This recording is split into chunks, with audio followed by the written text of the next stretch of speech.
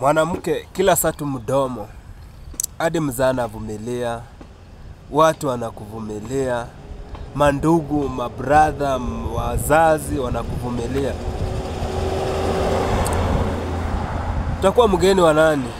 Nobo mcheni wa wina huko uliani wanaulizanga hivyo, utakuwa mgeni wa nani?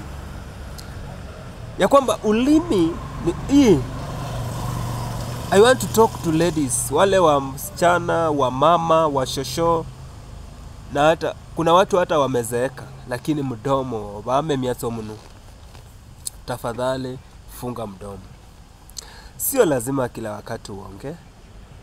And uh, to this young generation, hawa wasichana wadogodogo, hawa wamama wadogo wadogo, let me call them wamama wadogo wadogo because some of them wako na watoto, wamezaa, wameoleka. Kama umeoleka, tafadhali respect your man, respect your husband. Wacha mambo ya mdomo, matusi. Akiongea hii, wewe unaongea hii, mtaelewana aje? Mtaelewana aje? That is my question. Mtaelewana aje? Tafadhali learn to listen than to talk. Tafadhali wanadada ambao mnanitazama, let us learn to listen than to talk. Let us listen more than talking. Na tuna, tukifanya hivyo tutadumisha ndoa zetu.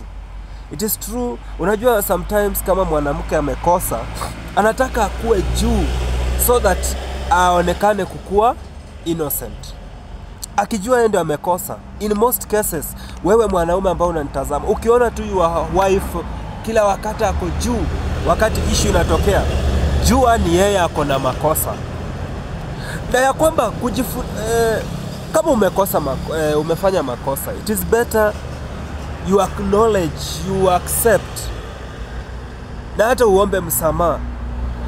Juu wakati ambapo unajifanya uko juu ni sawa kuna wanaume atasema ni sawa eh, hata mwenyewe atakuomba msamaha but inside him anajua ndio umekosa. Kwa hivyo tafadhali tuache mdomo tuache mdomo wale wa mama wasichana wewe ambao unanitazama tuache mdomo. Na tukitaka watoto ambao mungu ametupa wale wasichana ambao mungu ametupa wakuwe wakiwa watoto wazuri.